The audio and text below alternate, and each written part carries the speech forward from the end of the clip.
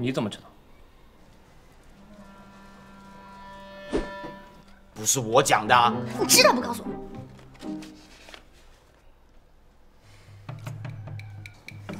你是不是知道自己太不红了，所以我能发现你很惊讶吧？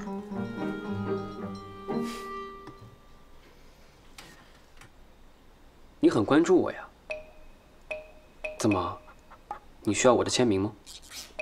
需要你签名，我是狗好吗？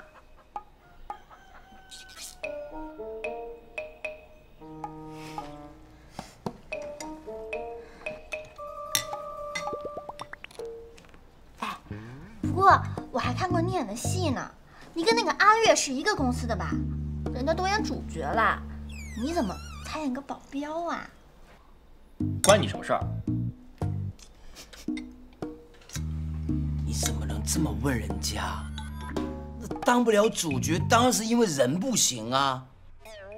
那人不行嘛，就跟你性格差，得罪人啊，反正就是没有那个命了。你当面问人家，这不是为难他吗？好。